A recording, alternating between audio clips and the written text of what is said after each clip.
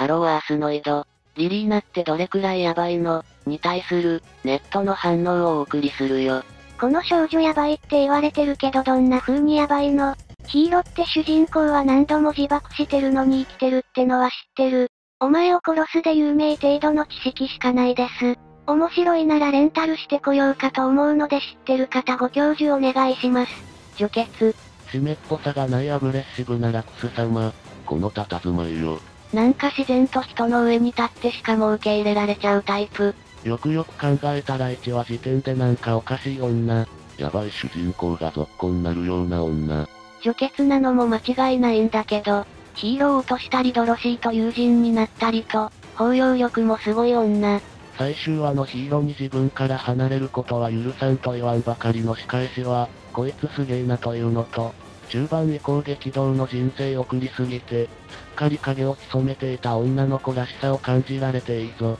アニメ最終話で破いたあの手紙、実はテープで貼り合わせてちゃんと大切にしてる。こんなのヒロインを超えたヒロインなのでは。ライオン締め上げる女がヤバくないわけがない。え、嘘だろ。生身で。リリーナのライオンに関してはイメージ映像。ただそんなイメージで作られてるキャラってことだし、なんならやるってなったらできるかはともかく、締め上げに行きそうな勢いはあるお方。リリーナ様がヤバいというかウィングがまずヤバい。そしてヒーロー筆頭にガンダムのリトリリーナ様で話し回してたので、ヤバい場面がアホほど出てくる。ライオン締め上げてるのはイメージ映像だから気にすんな。毎回見せつけられるけど。展開はシリアスなのにやってることがギャグ漫画みたいに極端で、あの世界の常識どうなってんだってなるのよな。偉い人降伏はするけどガンダムは渡せない。パイロット了解、登場したまま自爆、ずっとこんな感じ。厳密にはウィングレンタルしてもわからん。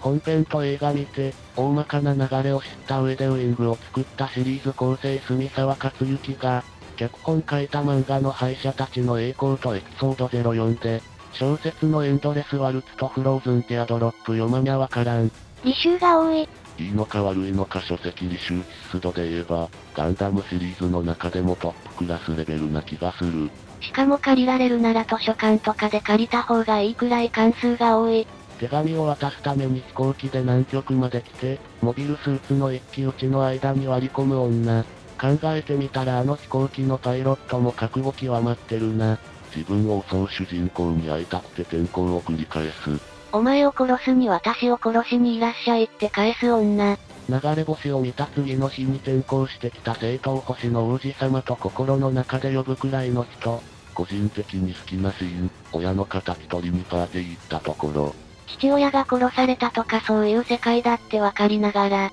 最前線に向かい自分の理想を文字通り捨て身で探ろうとする女だ。面構えが違う。リリーナ様がヒーローとゼクスの決闘を止めようとした後のセリフがこれである。ヒーロー、ゼクスを倒しなさい。オズなどという卑劣な組織に所属した者などサンクキングダムの恥です。構いません。殺しなさい。なお、リリーナ様は特にヒーローの命令権を持ってたり、同人営だったりするわけではない。中の人が彼女が理解できないと苦悩して収録に行くのが苦痛だった程度の女。本当に、しかも中の人が嵐を呼ぶ5歳児のしんのすけの矢島女子だからなおさらやべえよ。傀儡として祭り上げられたのにその組織を人望で乗っ取った。サンクキングダムにいる時は世界の変人だったのが、財団と協力したらアイドルになって、それで世界がうまくいくならいいけどこれじゃない感出してるとこ好き。リリーナ以外にも頭おかしいのいるの。例えば、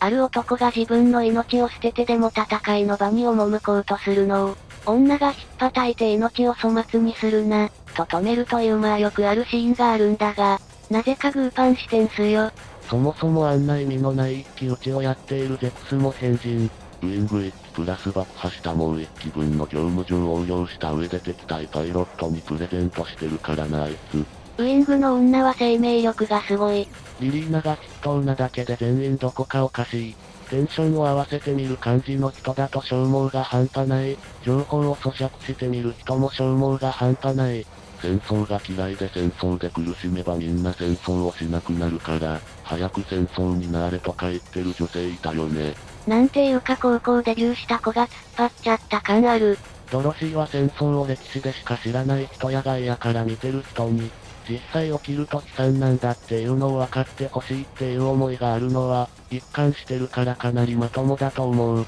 まあモビルドールまで自分で操作しだしたのはさすが頭アフターコロニーだけど、自分の機体よりはるかに格上の大量の量産機体機体破壊されても諦めない兵士たち相手を、一人も殺さないまま約8時間戦い続けて、最後まで機体も自分も元気な女とかがいるぞ。あと久しぶりに会う好きな人に対して、会えなかった年数どころか日数まで正確に記憶してた。アフターコロニー世界技量トップ疑惑のパイロット来たな。個人的にはキャスリンはトロワは私の弟だからで何でもやりそうでやべえやつだと思う。ウィングの女性陣は他の作品ならこいつ行動力やべえなってなる。ヒルデが埋もれてまともに見えるレベルでやべえ。ヒルデって敵軍の一員だけど、主人公の一人の思想に共感して軍を辞めて行動を共にしてって、結構なことやってるはずなんだがな終盤リーブラに単身潜入して情報持ち帰るぐらいはできる女。これが相対的に地味になるからな。基本的にウィングの女の行動は愛する人を思ってのやつって考えると、すごい気高さも母の包容力に見えてくるから不思議だ。どいつもこいつも、これを言うためだけに、モビルスーツの十字放火のただ中に単身、下手すら生身で突っ込んでくるような連中よな。リリーナは変人だらけのウィングで埋没せずにずっとヒロインやってた女。ウィングとかいう恋キャラの台風の中でも三千と輝いてるんだぞ。ぜひ本編見てほしい。むしろしょっぱなからフルスロットルで変人だったのに、なぜか最後まで見ると除血であり人格者であり乙女なんだよね。しかも格付けとして明らかにヒーローより上なのにヒーローを立てる姉さん女房的な要素あるし、なんなのこの人。ウィングが無理って人の大半がリリーナ様が理解できなくて無理なんよな。リリーナ様のことを理解するのは難しいが、なら男どもの行動を理解できるかっていうと、